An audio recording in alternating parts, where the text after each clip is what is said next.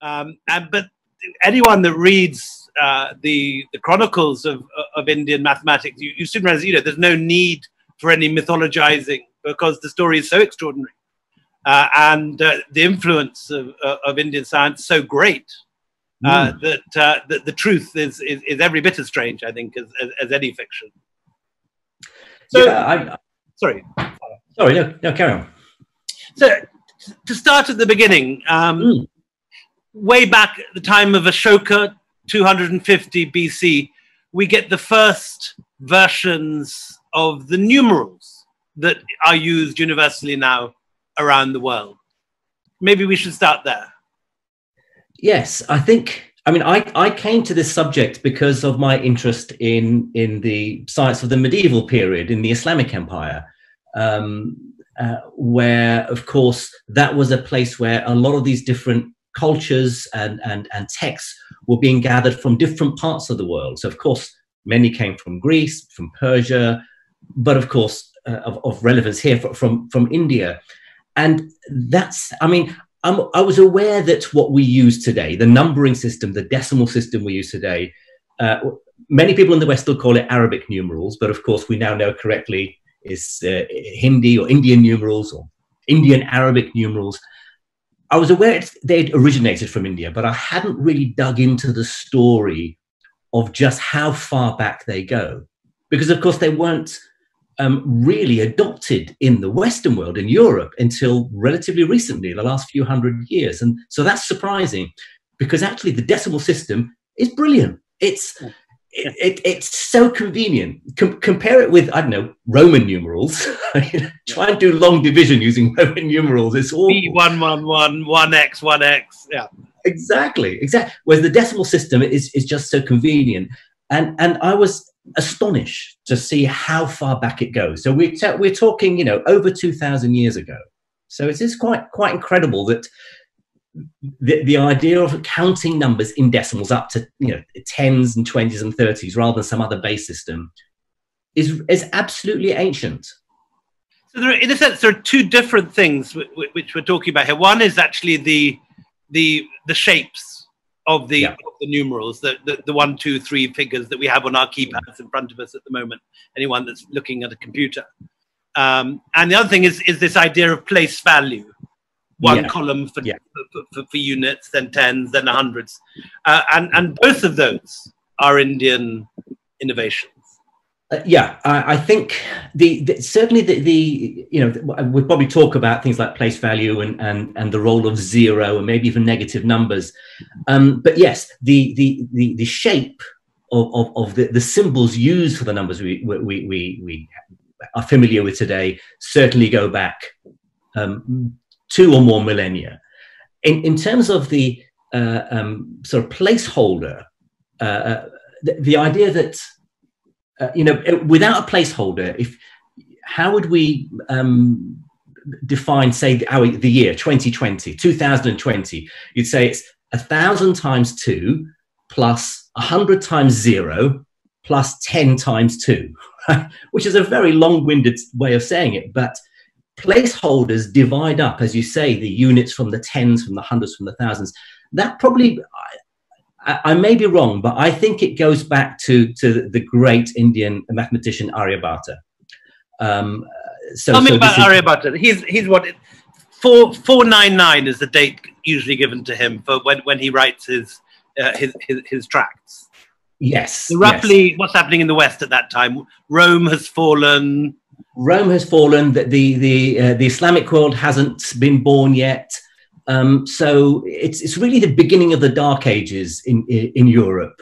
Um, but in India, we have in, the beginning India, of the Gupta period. Ab- absolutely, absolutely. I, I, um, so you know, Aryabhata, wonderful mathematician. I guess probably, certainly from the West's point of view, the the, the, the greatest influence did come from Brahmagupta, um, because it was his text that was translated into Persian and into Arabic and then into Latin.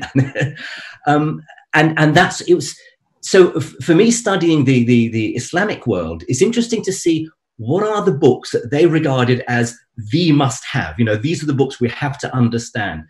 of course, you had the, the, work of the Greeks. You know, the, you know Galen, uh, book on, on medicine. You had Aristotle. You had Euclid's book on geometry, and of course, you also have Brahmagupta's uh, Siddhanta, uh, which in Arabic is called the Sindh Um, it it arrived. So Brahmagupta is, is seventh seventh century uh, AD or the Common Era.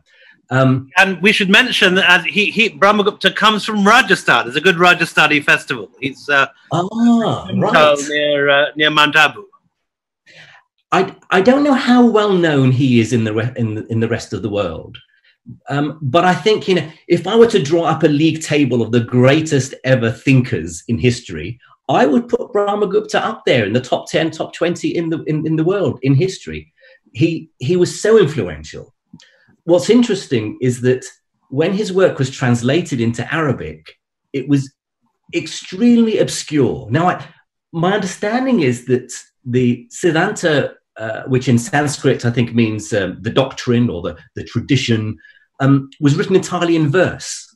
That was the that was the, the, tradition. Then you'd write this whole thing in verse. Memorization, I believe. Mm, that's right. That's, that's right. the way that you could teach mathematics with these. Yeah. Yeah, exactly. You know, ropes to help with rote learning. exactly. And and um, but a lot of the scholars in the Islamic world found it very obscure until they really understood the relevance of it.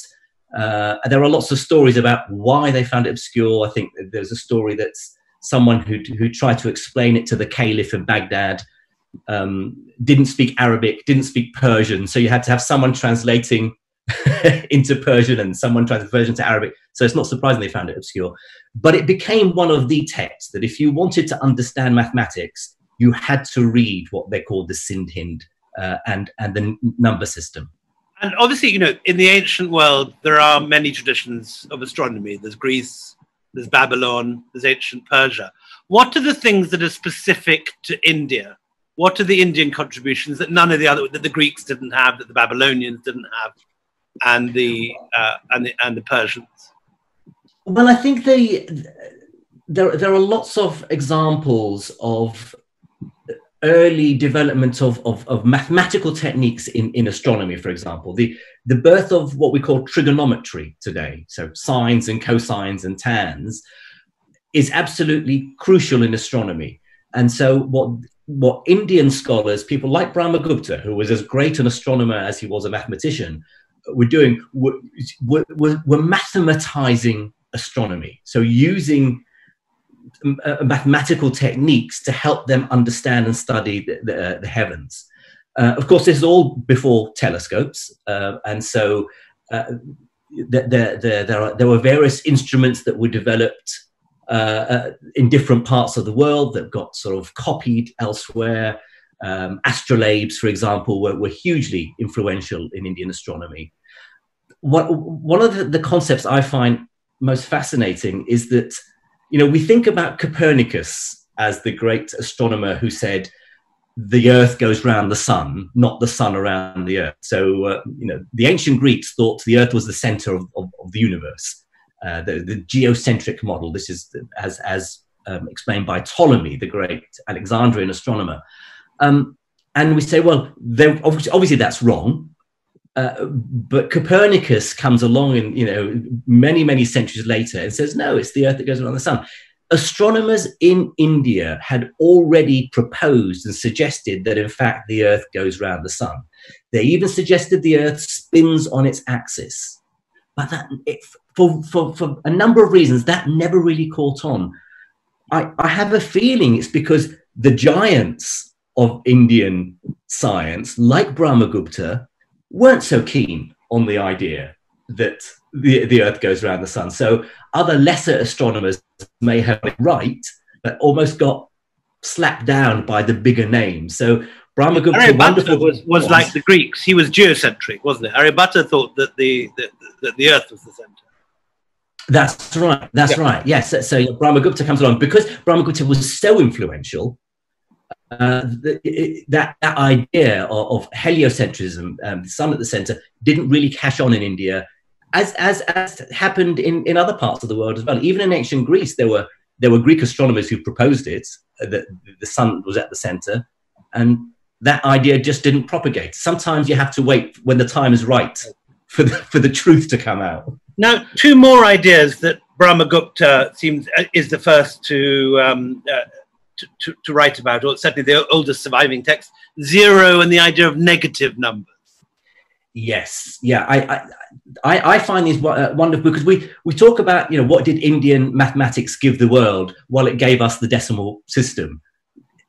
Yeah, that's great, but what we people don't quite appreciate is the idea of zero and negative numbers. The the notion of negative numbers, I believe, goes back almost two millennia, um, because in, in Indian mathematicians treated the idea of debt as being the mirror image of, of profit, of credit. And, and they associated negative numbers with debt quite naturally. And, and today we think, well, that's quite normal. You know, if you have an overdraft in your bank of, you know, have made 200 pounds or whatever, you know that's minus, that's negative. Um, but the rest of the world didn't catch on to this. They, I, it, it seems that the mathematicians, the rest of the world, just weren't clever enough to catch on to negative numbers as quickly as Indian mathematicians did. The, the story of zero is, I think, is even more fascinating because uh, when we talk about zero, we have to be sure we're talking about the right thing because there's zero as a symbol. That's you know to, as a placeholder to, to, to distinguish between uh, 11 and 101 um, zero as a symbol goes all the way back to the ancient babylonians 300 bce so so that's that's a very old concept but just because you can draw a picture of what zero means doesn't mean you understand it as a concept. The notion of zero as, as indicating nothingness, the void, I think yeah. goes as uh, uh, yeah, it's, it's, yeah, exactly. Um, but I think that the idea actually, as far as I'm aware, starts with Aristotle in ancient Greece. So although sunya yes means the void or, or nothingness, the notion of the vacuum, the, the, the, the lack of anything, uh, the void, goes all the way back to the ancient Greeks. But again, that's not a mathematical definition of zero. The idea that zero is a number between negative and positive, between plus one and minus one, that we can trace back to people like Brahmagupta. Oh, interesting. So Aristotle has the idea of, of nothingness, but he doesn't nothingness. the number. Yeah, but not but not a number. But but the the idea that you can um, uh, you know, uh, multiply a number by zero, uh, and that gives you zero. Uh, that's we we learn that at school now, uh, and it's obvious, but it's it not an obvious, obvious concept. Yeah, divide a number by zero, and you get infinity. Again, that's quite an abstract concept. Again, developed and really well understood by Indian mathematicians like Brahmagupta. Um, I've been reading a very interesting new book um, out a couple of years ago by a guy called Michael Willis at the British Museum. Uh, and he's been working on the Gupta sacred site um, uh, uh, uh, uh at, the heart of the Gupta dominions, where there were um, apparently a great number of astronomical sundials and, and, and, and things which you can still see uh, in, in the rocks in Udaygiri. And his, his idea is that in Udaygiri, it's, it's arranged um, so you can measure the solstices that you have the, the sun coming and going. And this was a was a Gupta royal sacred site where astronomy was being used in a sense to enhance and legitimize kingship. Uh, the, the, the, this was, in other words, not only have you got the scientists working in abstractions, this is very practically put to use mm, uh, mm. by kings to to uh, to cement their rule. Yeah, I think it's interesting because when astronomy developed in the Islamic world, it was in the service of religion. It would, uh, but and, and again, you can see a practical reason for that. You know, they want to know the uh, uh the phases of the moon. They want to know the time for prayer, the month of Ramadan for fasting, and so on. So, so it's very much is in the service of religion. The astronomers would live in mosques and and and and they'd have their sundials there it's interesting in India that it was seen as a uh, a sign of of of of, uh, uh of prestige. Uh, to, you know, to, to have astronomers working in, uh, you know, in, in uh, for the king, to give him advice was was it's a different different concept that we didn't see, we don't really see elsewhere. And one concept that does go into this like, world is the whole idea of astrology, which today, in a sense, we we, dis- we dismiss scientifically, but at the time is very closely linked to astronomy. Uh, yes. The idea that you can predict the future by studying the heavens is, is very, very strong. Yeah, uh, you know, to, as you say, today we know astronomy is a science. It helps us understand the nature of, of the cosmos, uh, and you know we know so much now. But uh, astrology now is a bit of fun. It's not, you know, it, it, don't take it seriously. We we know now the forces that govern the universe, and we know that distant stars and planets can't control what happens for us here on Earth. But there yes, people who would dispute that here, but uh, we, we, we, we which is why I'm saying it. I just want to start an argument. Community, yeah. yeah, come on then, Astro- astrology nonsense. um, but yeah, I mean, but back in, in you know in in uh, uh, the early um, period of, of, of the Indian uh, scholarship. And, and indeed in the rest of the world, there wasn't a distinction between astronomy and astrology. There were a few scholars around the world who who tried to make a divide in this in the same way that they tried to divide between chemistry and alchemy. You know, right. one's a science and the other is is is, is based on sort of is more sort of spiritual or, or, or based on other belief systems. But you can see the the reason why astronomers were also keen on coming up with astrological charts and predictions for their leaders, for their kings, because you know the, the king wants to know when is the best time to go to war or, uh, or, or, you know what what are the star signs that you know needed for when to plant your your, your crop? Uh, and so astrology so is was is so embedded as a part of the culture that you can see it has a use culturally if not scientifically. So you mentioned the islamic world and, and so let's take the story on on the next the next leg of the journey westwards. So in 711, you have uh, Muhammad al Qasim conquering Sindh and yeah. Islam reaching what's now, I suppose, Karachi, um, yeah. as far as yeah. uh, as far as modern Pakistan. Um, and very soon after that, you get uh, Indian sadhus making their way into the heart of the Arab world. You have Indian embassies bringing the books of Brahmagupta and the learning of Indian astronomy and, and mathematics to Baghdad. Talk, talk a little about that. So Baghdad has just been founded. Caliph al-Mansur is on the throne. What's the intellectual world there which the Indians are coming into? Baghdad, once it was uh, very, very quickly, once it was uh, built and designated as, as the as the capital of this new, um, as you say, rapidly expanding, vast um, Islamic empire, they got as far as uh, uh say Karachi in, in the east. They got as far as Spain in the west. Um, but Baghdad really was the center. It was the place to be. Part of the you know, the ruling uh, um, uh, family, the, the, the caliphs or the, the Abbasids, um, were very keen on scholarship. They, they, for them, the idea of getting books and translating them from from Greek, from from uh, Persian, from Pahlavi, from Sanskrit, all into Arabic became an obsession. So scholarship and learning was was the thing to do. It was fashionable, and that meant that Baghdad became the place if you wanted to go and and and uh, uh, work whether you're a musician, a theologian, an astronomer, a mathematician, a medic. Baghdad was the place you could go where where you could receive funding. you you could you could earn a living be, being a scholar. And, and, and, and so around the world. You know, in a sense, collating all the different learning bodies of learning from all the different cultures of the ancient world Roman, Hellenic, yeah. Babylonian, Persian, and particularly in terms of astronomy and mathematics, the learning of India. India. Yeah, it was the it was the first time in history that you had a bringing together, a synthesis of all these different cultures and ideas. You would have had, you know, when when Alexander the Great traveled, you know, would have been some exchange between Indian and Greek scholarship.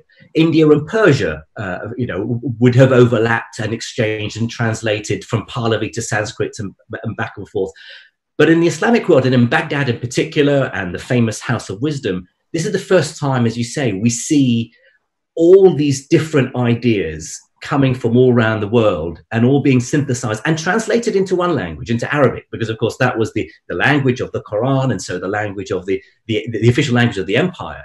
So anyone who wanted to make a name for themselves in, in their field, whatever it was, really had to travel to places like Baghdad and write their text in Arabic, which is the reason why very often we talk about that as the golden age of Arabic science, even though they weren't all Arabs, of course and one of the people who weren't Arabs were the the, the Barmakids, the the viziers mm. family, who I think were from Balkh, which is mo- in modern Afghanistan. And these guys were the hereditary Buddhist abbots of the big Buddhist monastery in Balkh. So again, of Indic culture, they came from a world.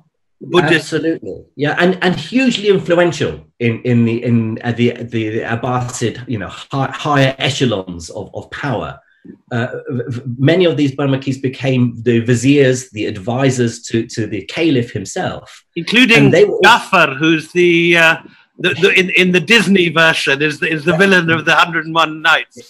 He's the villain. In, in, in reality, he wasn't actually the, the, the, the character himself. The, the caliph's advisor wasn't a villain. He was a very learned and scholared person who, you know, who who, who really sort of uh, uh, supported a lot of scholarship and a lot of translations. Um, Disney has Disney has libeled this guy as well as mispronouncing him as Jafar. Jafar, yes, Jafar as opposed to Jafar. Yeah. At this point, you've got now Indian star tables, astronomy, trigonometry, prediction of eclipses, and algebra, all making mm. their way into this great stew of learning in Baghdad. Yes, who are, the, yes. who are the characters who are overseeing this? I'm thinking, you know, Al Khwarizmi. Is he? Al Khwarizmi and uh, Al Kindi. Yes, yeah. So yeah, I think that uh, there are a, a, number of names. There are people who are sort of um, uh, rather more obscure. Uh, for example, it's, it's argued the first person to translate Brahmagupta's uh, Siddhanta into Arabic was a was an astrologer by the name of Al Fazari in in uh, Mansur's. Um, uh, One of the inventors of the astrolabe, isn't he? Fazari? Absolutely, yes. I think sometimes in history there is quite there, there are a number of Al Fazaris, but I think this this one very early on in the in the eighth century, uh, an advisor to Al Mansur, the, the, the first caliph uh, of the Abbasid period. Um, he translated the, the, the Brahmagupta's work into Arabic, but he wasn't as influential as some of the scholars that came a little bit later in the early 9th century, and, and the two in particular who are household names probably in most cultures around the world. There's Al Kindi, uh, the great uh, philosopher of the Arabs. He's an um, Arab working in Baghdad, and and probably even an even better known name, Khwarizmi, the the Persian uh, mathematician. So they were both after whom we get the word algorithm algorithm, which is the, the Latinized version, uh, uh, uh, the Latinized version of his name, Algorithmus.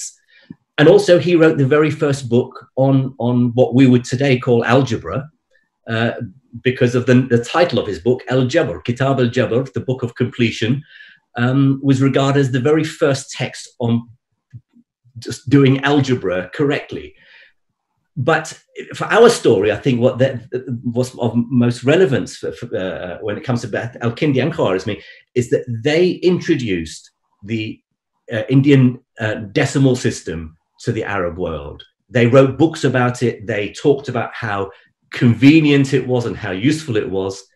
What's interesting is that it took a long time for the rest of the West to cotton on to this idea, just how useful these numbers are. One point I think that's probably important to make here is that one sees a lot on in, in the kind of right wing internet that the Arabs appropriate Indian learning, that they steal Indian learning.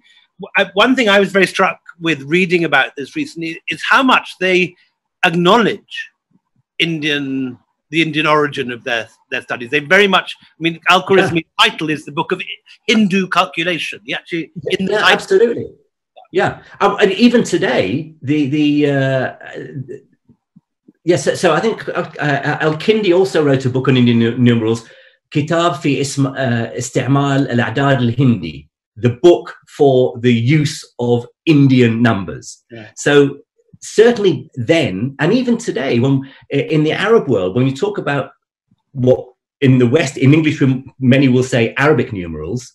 In Arabic, they're called Indian numerals. So it's very much an acknowledgement that they, that they are not pretending that they invented them, or if they do, they're ignorant of the true origins of these numbers. So we've got about five minutes to questions. And so let's fast forward. How does this system, so it's invented, decimal system and, this, and these numbers, invented in India, the symbols of these numbers are there from the time of Ashoka. They make it to Baghdad by the 8th, 9th century. How do they end up in, in Europe? Maybe we could talk about Fibonacci. Yes. Um, so Fibonacci is an, one of a number of Europeans in the 11th, 12th, 13th century who realized that if they wanted to find out all the clever stuff, or you know, the scholarship in mathematics and astronomy and, and, and, and so many other areas, they weren't going to find it in Europe. Europe was still in the Dark Ages. Uh, there were pockets of scholarship here and there of people trying to sort of hold out against the, the ignorance and the superstition uh, in Europe. And many of those scholars knew they had to travel to the Islamic world to initially to actually to, to retrieve the, the, the great Greek texts. So they were aware of the ancient the work of the ancient Greeks, um, Aristotle and Euclid and, and, and Ptolemy and, and, and Galen and so on. Um, what they did when they got to the to, to places like Baghdad and and in Spain, Cordoba and Granada. Toledo. Until exactly, so so there were these centers which became a focus of translation, a translation movement from Arabic into Latin. And amongst these Arabic texts were original books written in Arabic, but also Sanskrit texts from India that had been translated into Arabic. So you see these texts, they, they sort of hop from one language to another.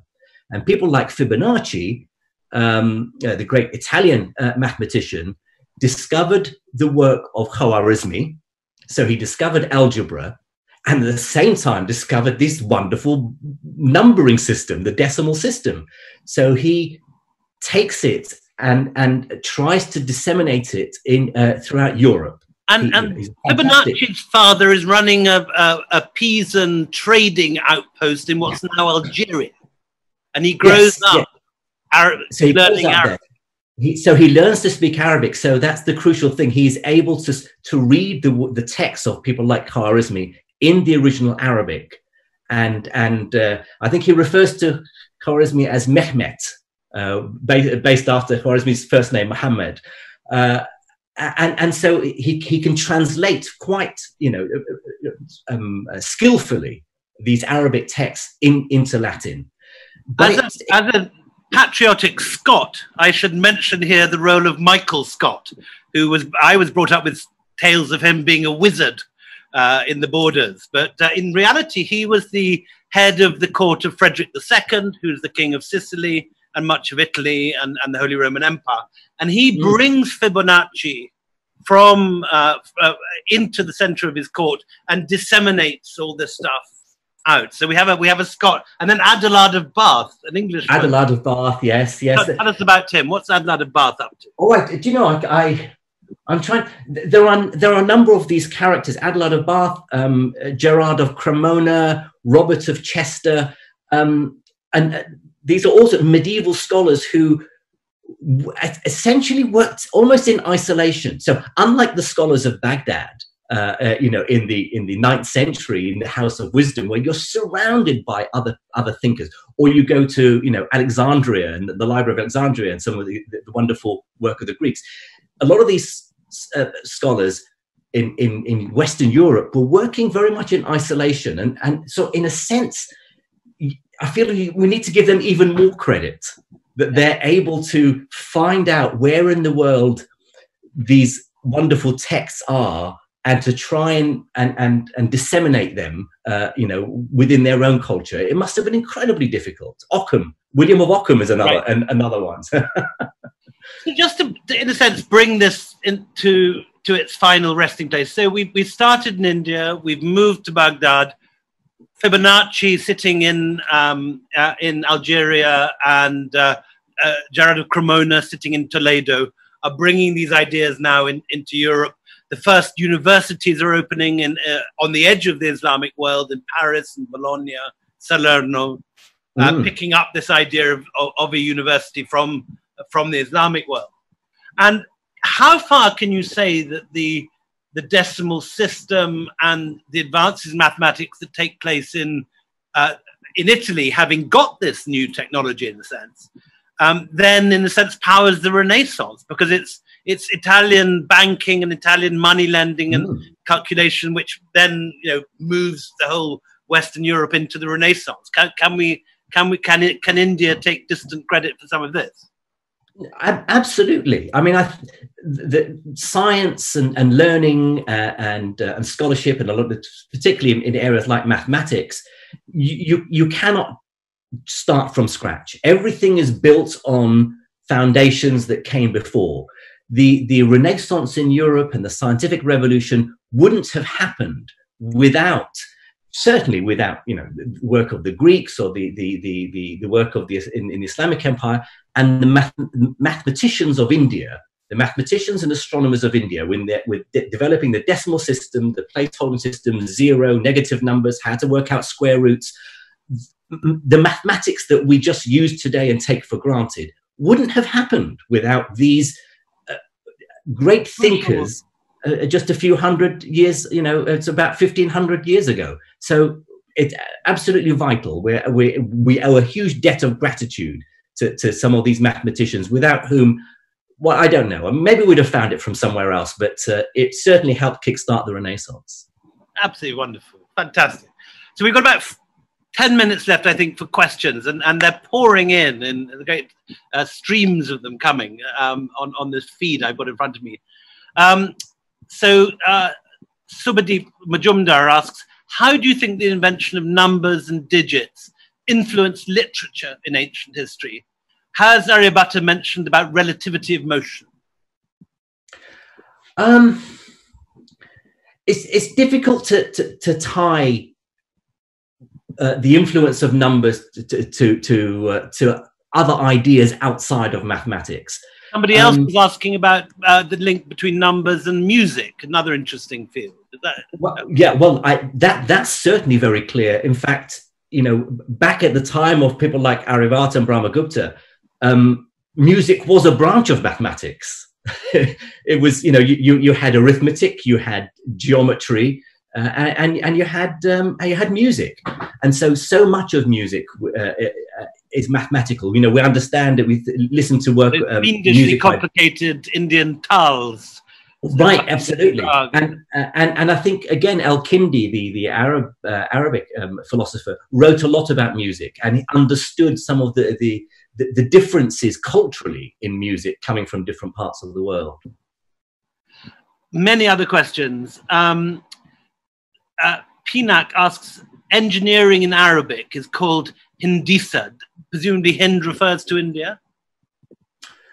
Uh, I was talking to a to a friend some years ago, uh, and he says it's obscure where where the, the Handasa, uh, yes, engineering actually comes from. I'm not sure. I you know I it it's, it may word. be one of those occasions where we try it, you know, where one can try and lay claim and say, well, it, that originates from India. The, the, etymology of that word, Hendasa, isn't clear to me. I'm sure it may be well known to, to, to others, but I'm, I'm, afraid I can't say for sure. Interesting question from Sudhir Tandon. He says, did Indian architecture and spatial design influence the Arab world? Um, it, it did via Persia. Um, a lot of the the um, in, in the early Islamic uh, um, period in the Abbasid period, the Abbasids were, were were in love with Persian culture. they, they, you know, for them, anything Persian was good, was great, and so they were uh, they were very influenced by Persian uh, literature, Persian architecture, and Persia and and and India before the Islamic world, there was a lot of overlap between them. So, in terms of designing uh, temples and, and, and palaces and so on, I, I would imagine a lot of that influence would have just sort of passed from east to west over the course of a number of There's, centuries. I believe there are some references at the time of Alexander the Great to the libraries of the ancient Persians containing Indian works. Um, well, that, so that goes back a very long time. Absolutely, yes. You yes. have the idea of Indian diffusion of Indian ideas already by the time of Alexander the Great in what 300 BC. Yes, yeah. I mean, that's the thing. You, you, it's really difficult to to draw lines and separate. You know, what is Indian influence, what is Persian influence, what is European influence. These ideas cross fertilize and disseminate across. Alexander the Great is a very good example of of, of how cultural ideas can transfer from very different distant parts of the world you you can't just say this is this came from this part of the world or that came from that part of the world ideas and ideologies are always being exchanged. You you would you would know far better than me as an as a historian. What do i know? I'm a physicist. Interesting question from renita. Um, she said how did the certainty of maths and science evolve as it went from east to west in regard to religion. In other words, in the sense that the battle between science and uh, and uh, religious ideas. Um, I can really only say what I know about what happened in the in the Islamic world, um, and there was certainly an uh, an acknowledgement that a, a rational picture of the world, uh, whether mathematically or whether just by observation, carrying out experiments, what we would call science today, so went hand in hand very comfortably with ideas from religion in, in a way that sometimes one feels quite frustrated these days when there's somehow science and religion are put up in conflict with each other that somehow that there's a battle between them or a friction. But certainly in the in the early um, Abbasid period, for example, you know, even though you know it, everything is driven by by the, this new religion, there was an understanding among the scholars that you know God's given me a brain, uh, I better go and use it and, and and find out about the world rationally instead of making stuff up. Um, so, and I think that would have been the same among any of the great cultures uh, in, in history, including certainly the golden age during the time of Aryabhata and Brahmagupta. Interesting question here from Sachdev Ramakrishna, who asks, could you comment on the work of Fazari and his use of Indian mathematical texts? Um, if it's the Fazari who who who who is credited with uh, with the first astrolabe in this, that Fazari, yeah. Um, not so much is known about him. And I think part, part of the problem is that, as I mentioned earlier, there are a number of scholars in the Islamic world, in, in Arabs and Persians, by the name of Al Fazari.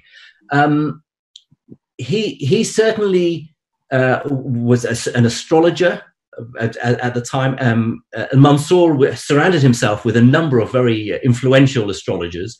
And Fazari was one of them, but he was also uh, well versed in mathematics uh, well versed in, in, in, many languages, uh, and so certainly credited with the first translation. A lot of these texts from, from, from Sanskrit translated into Arabic underwent a number of cycles, a number of editions, the same as the, the works of the Greeks translated into Arabic. Uh, and so there may have been other more, uh, more, more accurate, more, more, more careful translations, but certainly Al-Fazari um, had studied the work of Brahmagupta and is regarded as the first person to translate Brahmagupta. That, that's what he's known for best of all, I think, in history, to, to have brought Brahmagupta's work to the Islamic world. Well, one question for, I'd, I'd like to ask is how far are Fazari and Al Khwarizmi inventing new mathematical ideas, and how far are they merely transmitting Indian ones?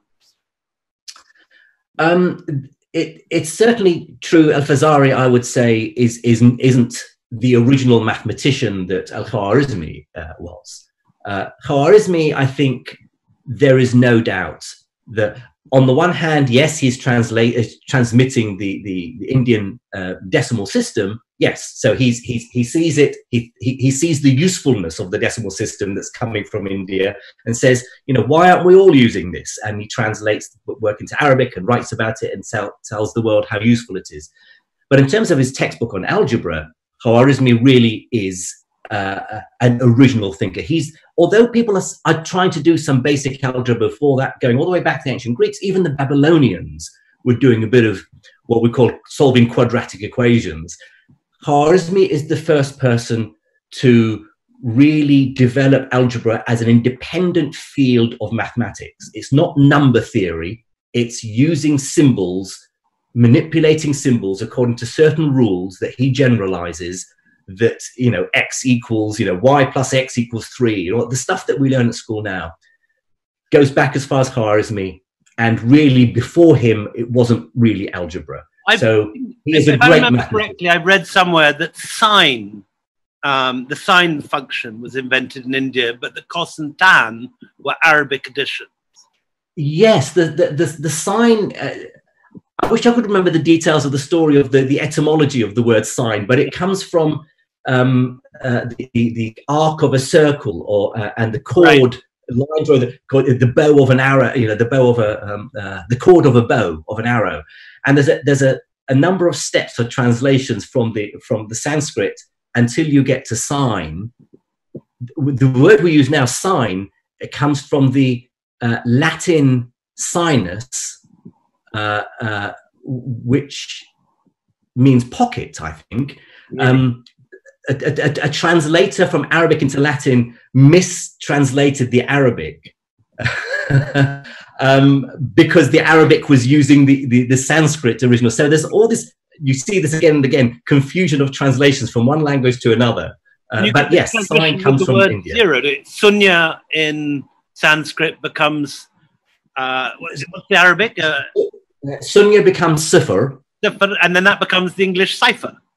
It becomes English cipher, yes, and and it, it then the, the, the, Latinized version of cipher becomes zephirum, uh, and from zephirum you get zero, uh, and so yes, again, all these you know hmm. multiple steps, but but the zero that we use today can be traced back to Sunya in in Sanskrit. I think, Jim, we are we are very close to the end. Um, so, do you, do you, want to make one last sort of summing up statement? What what if you had to put it in in, in a short um, uh, sentence? What what do we owe? What what is the gift of Indian mathematics to the world? Without Indian mathematics, I think well, we, we may have developed the modern world, but I think the modern world that we have today, with the decimal system, that we take so for granted and the technologies that have changed our world can essentially be traced back to this technique that the rest of the world took hundreds of years to, to realize how useful it was. Because in the West, they were just using letters instead of numbers. And they didn't realize how useful and how brilliant the, the Indian numbering system was. Uh, it, it, eventually, they picked it up but I think a huge debt of gratitude and, and, and thanks to some of these wonderful characters from history that certainly in, outside of India deserve to be far, far better known. Jim Al-Khalili, thank you so very, very much. That's very kind. My pleasure. Thank you, Jim. Thank you, William. That was just fascinating. And we still have questions streaming in. So if you don't mind, we'll send some of them to you. And if you can answer some of them, we'll then post them back onto uh, Absolutely. Facebook Thank you all for watching and being such a great audience. And like I said, I'm really sorry. It was such a fascinating conversation, but we couldn't take all your questions. We thank our official radio partners, Red FM, Bajate Raho. Please do remember to log in at 9 p.m. for our next session, The Age of Anxiety. Casey Schwartz and Amrita Tripathi in conversation.